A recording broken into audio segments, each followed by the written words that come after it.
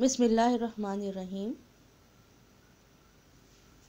असलकुम welcome to my channel Binte Hashmi. अज़ीज़ तालिबात, आज हम बायोलॉजिकल ऑर्गेनाइजेशन यानी हयातियाती तंजीम के बारे में पढ़ेंगे कि ये कि इंसानी ज़िंदगी या कोई भी जानदार शय किन तख्लीकी मराहल से गुज़रती है।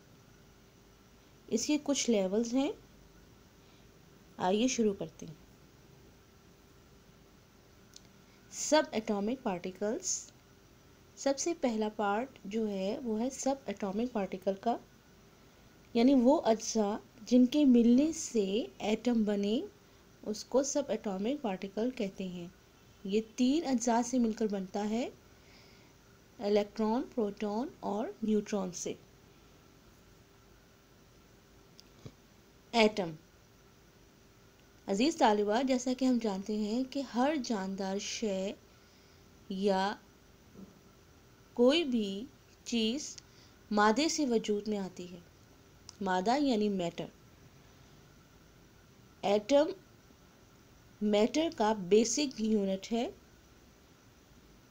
मैटर क्या होता है, यानी मादा क्या है, हर वो चीज़ जो वज़न रखे और जगह के मैटर कहलाती है। For example liquid solid and gas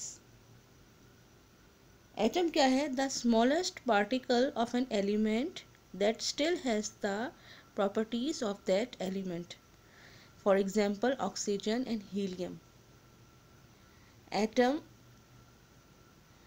के मायने है अनकटेबल यानी वो ज़र्रा जो नाकाबिल तकसीम हो। Molecule two or more atoms that are chemically bounded together called molecule. यानी दो या दो से ज़्यादा एटम्स मिलकर मॉलिक्यूल्स बनाते हैं for example DNA water salt अभी आप वाटर का मॉलिक्यूल देख रहे हैं, जो कि हाइड्रोजन और ऑक्सीजन से मिलकर बना है। Organelle organelle are smallest specialized structure is in cells which perform specific function. यानी ऑर्गेनल कहते हैं सेल के पार्ट्स पार्ट्स ऑफ़ सेल या स्मॉल ऑर्गन्स ऑफ़ सेल्स यानी सेल किस चीज़ से बनता है? वो बनता है ऑर्गेनल से। ये छोटे छोटे पार्ट्स होते हैं जो कि अपना स्पेसिफिक फ़ंक्शन को परफॉर्म करते हैं। For example chloroplast mitochondria nucleus cytoplasm ribosomes वगैरह।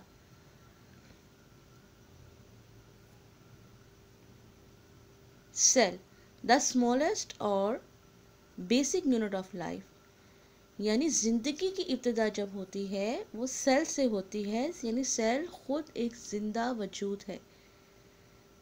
सेल का जो वर्ड निकला है, वो लैटिन वर्ड लैटिन लैंग्वेज से निकला है, जिस, जिसकी मायनी है स्मॉल कंपार्टमेंट्स सेलुलर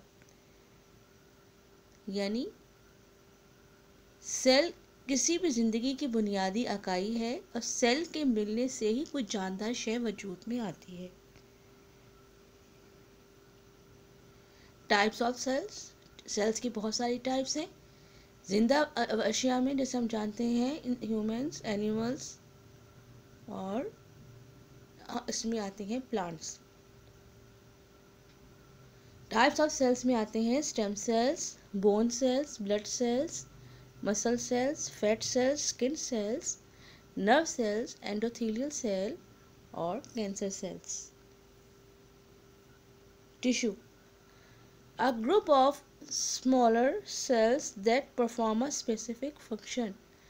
यानी सेल के मिलने से एक जैसे जब सेल्स के ग्रुप्स मिलते हैं तो टिश्यू बनता है और वो स्पेसिफिक फ़ंक्शन को परफॉर्म करता है।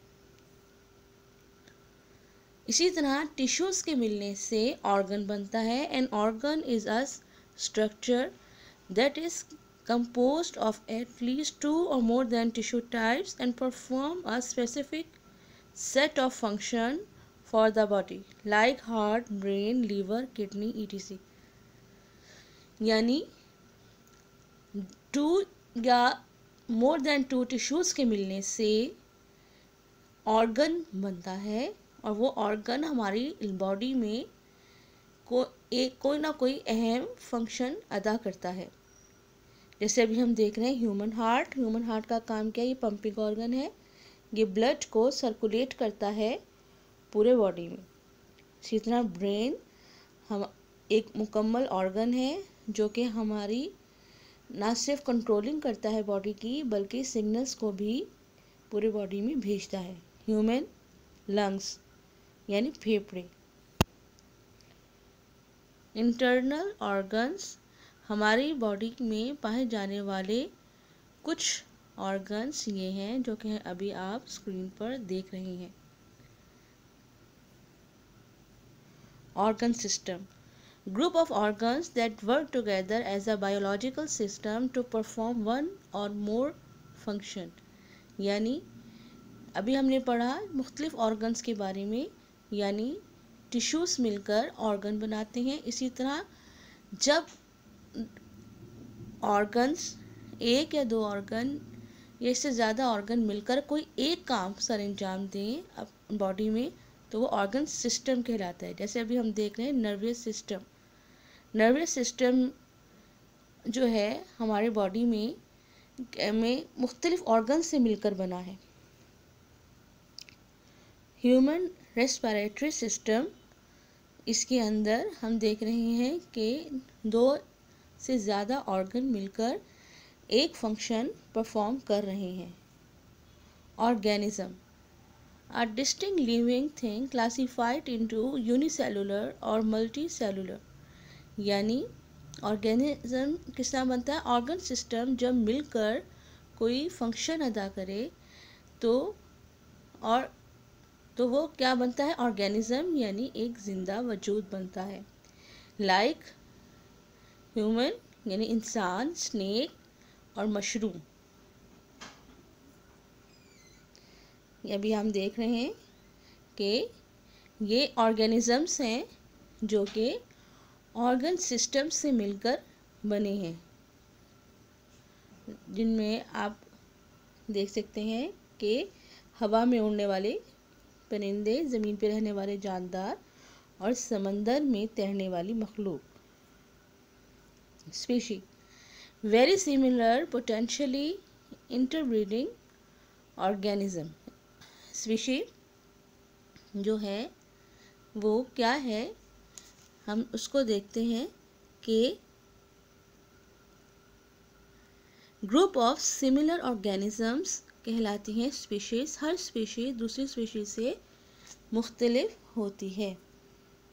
ये देखें, यहाँ पर हमने देखा डियर्स वगैरह की हो। Population a group of organism of the same species living in the same area. यानी वो ज़िंदा, वजूद, जानदार, जो कि ग्रुप की शक्ल में रहें, वो सेम स्पीशीज़ कहलाती हैं और जिस एरिया में रहती हैं, उसको हम वहाँ कहते हैं पॉपुलेशन यानी herd of cattle, town of people और ब्राइड ऑफ़ लाइन्स। ये देखें ये क्या है? ये पॉपुलेशन है एलिफेंट्स की, जो कि हमें नज़र आ रही है फॉरेस्ट में। कम्युनिटी। टू और more population of the different species living and interacting in the same area. Community में टू या दो two more than two population जब रहती हैं तो वो क्या कहलाती हैं? कम्युनिटी कहलाती हैं। Ecosystem a community together with its non-living surrounding like forest, ecosystem, deserts and grassland. जब कम्युनिटी रहती है किसी एक जगह पर इसमें लिविंग एंड नॉन लिविंग दोनों चीज़ें आ जाती हैं वो क्या कहलाती हैं? इकोसिस्टम अब हम देख रहे हैं इसमें डेजर्ट्स है फॉरेस्ट है सी है जो कि कम्युनिटी का हिस्सा है। बायोस्फेयर बायो कहते हैं लाइफ को स्फेयर कहते हैं सर्कल को, यानी अर्थ के ऊपर जितना भी कुछ है, वो सब बायोस्फेयर कहलाता है। The part of earth inhabited by living organism living and non living components यानी ज़मीन, समंदर के तह में तैरने वाली मछली से लेकर आसमानों में पहाड़ पर मौजूद चोटी तक, रेंगने वाले कीड़े तक जितनी भी चीज़ें आती हैं लिविंग और नॉन लिविंग वो बायोस्फीयर कहलाती हैं। यानी बायोस्फीयर में क्या क्या आता है? Hydrosphere lithosphere ecosphere and atmosphere ये देखें बायोस्फीयर की beautiful example living and non living और जितनी भी चीज़ें हैं, जो समंदर में हैं डेजर्ट्स में हैं, यानी अर्थ पर हैं एटमॉस्फेयर में हैं, जितनी भी हैं, वो सब क्या कहलाती हैं? बायोस्फेयर और इसकी बेहतरीन एग्जांपल यानी हमारी अर्थ है, जो कि भरी पड़ी है ऑर्गेनिज्म से। सेमराइज द होल लेक्चर इस पूरे लेक्चर को हम चंद अगर लफ्ज़ों में बयान करें तो कुछ यूँ होगा कि ज़िंदगी की इब्तदा जिन चीज़ों से होती है या जिन तख्लीकी मराहल से गुज़रती है, वो कुछ यूँ हैं। सबसे पहले आता है सब एटॉमिक पार्टिकल्स से बनता है एटम्स एटम्स से बनता है मॉलिक्यूल मॉलिक्यूल से बनते हैं सेल सेल से बनते हैं टिश्यूज़ टिश्यूज़ मिलकर बनाते हैं ऑर्गन ऑर्गन मिलकर बनाते हैं ऑर्गन सिस्टम यानी बॉडी सिस्टम बॉडी सिस्टम से बनता है ऑर्गेनिज्म ऑर्गेनिज्म से बनता है पॉपुलेशन पॉपुलेशन से बनती है कम्युनिटी कम्युनिटी से बनता है इकोसिस्टम और इकोसिस्टम बनाता है बायोस्फेयर अल्लाह ताला कुरान मजीद में बारहा कहते हैं कि गौर फ़िक्र करो। यहाँ पर एक बायोलॉजिस्ट ने ऑर्गेनिज़म्स को, यानी बायोलॉजिकल ऑर्गेनाइजेशन को जिन लेवल्स पर तकसीम किया है, हमने उसको आज मुख्तर तौर पर जाना। इन नेक्स्ट वीडियो में हम हर चीज़ को अलग अलग डिटेल में समझेंगे। Thanks for watching and subscribe my channel